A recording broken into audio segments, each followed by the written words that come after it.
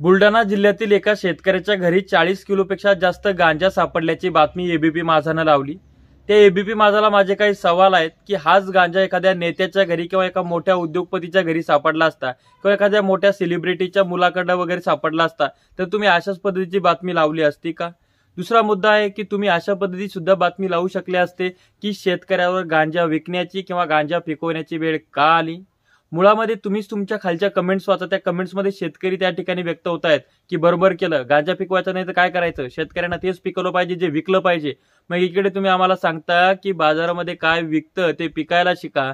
मग शेतकऱ्यांना जर गांजा पिकवला तर एवढ्या तुमच्या बुडाला आग का लागली?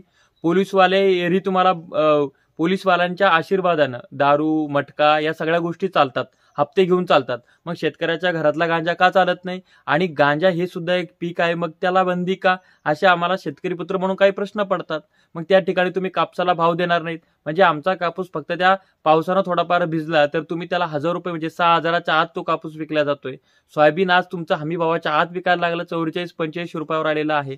तुरीला सुद्धा तुम्ही आयात करू करू तुरीचे भाव पाडतायत. तुम्ही कांद्याला निर्यात बंदी लादली मग त्यावेळेस तुमचा एबीपी माझा कुठं असतो? त्यावेळेस तुमचं पोलीस प्रशासन कुठं असतं? त्यावेळेस तुमचे बाकीचे सगळे हे लोक कुठं असतात? त्यांना ह्या सगळ्या गोष्टी दिसत नाहीत का? मध्यंतरी बातमी आली होती एका नेत्याच्या घरी तीनशे कोटी रुपये सापडलेत आणि नोटा मोजता मोजता दोन का तीन मशनी बंद पडल्या होत्या.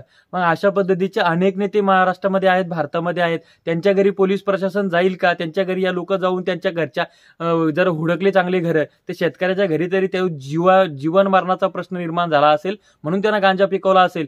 आणि मग अशा पद्धतीचा असेल तर मग त्या लोकांच्या घरी जर तुम्ही बघायला गेले तर याच्या घरी चाळीस पन्नास किलो गांजा सापडला यार. त्यांच्या घरी तुम्हाला सहज असे चाळीस पन्नास कोटीच्या वस्तू बघायला मिळतात. मग त्या वस्तू आल्या कुठून? ते आमच्या घामाचा पैसा आहे. ह्या पांढऱ्या कपड्यातल्या अतिरेक्यांनी अर्थात या पांढऱ्या कपड्यातल्या पुढाऱ्यांनी आम्हाला लुटलेलं आहे.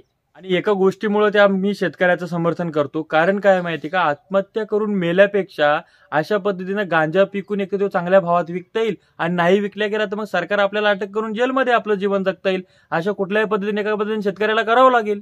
आणि त्या एबीपी माझावाल्याला माझं सांगणं आहे की शेतकऱ्याची निर्यातबंदी झालेली आहे कांद्याची ती पण दाखवा. शेतकऱ्याचा हरभरा पेरून झाल्यानंतर उगून आल्यानंतर अचानक पाऊस पडला त्याच्यामुळे तो जमिनीतच पूर्ण सडून गेलेला आहे ते पण दाखवा. त्याच्या कापसाच्या बोंडांचे पूर्ण लखतर असे लोंबलेले आहेत. त्याच्यामुळे त्याचा कापूस सहा हजाराच्या आत विकला जातोय. ते पण दाखवा. एवढं सगळं नुकसान होऊन अधिवेशनामध्ये शेतकऱ्याला फुटकी कवडी सुद्धा फेकून मारली नाही. ते सुद्धा दाखवा. आणि त्याचबरोबर पीक विमा सुद्धा त्याच्या खात्यामध्ये जमा होत नाहीत. सर्वे सुद्धा होत नाहीत. कंपनी सरकार मस्तवाल झालेले आहे. हे सुद्धा दाखवा. धन्यवाद.